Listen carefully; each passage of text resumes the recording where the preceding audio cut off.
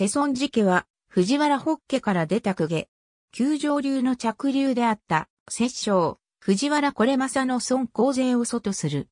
三、あと、四納言として知られた、初代、公勢以降、代々地木道の家系として知られ、その流派は、世尊寺流として受け継がれた。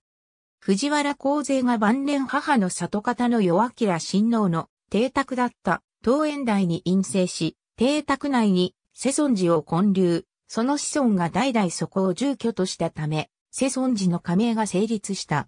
初代、藤原公勢から17代を数えるが、世尊寺の加盟で知られるのは、世尊寺行の遺語とされる。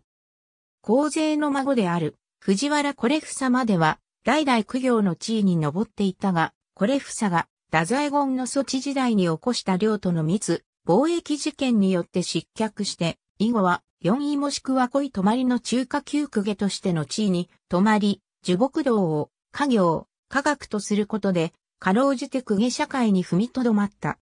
だが、それも石棺家から登場した保証自流が流行して、後白河法皇の保護を受けるとその地位も揺らぐことになる。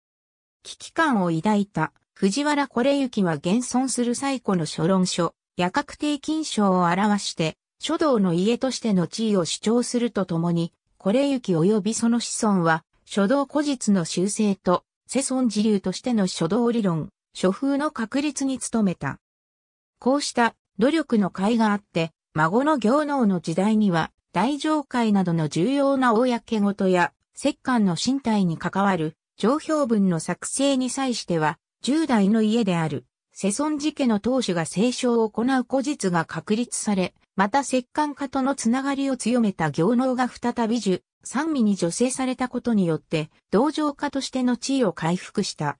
以後室町時代にかけて、道場家として続き、室町時代には、聖二位、三義を極官としたが、室町時代末期の17代目世尊事業機構居により、絶景となった。太平記に、新田義貞の妻として登場する、高等内史は、世尊寺教員の娘という。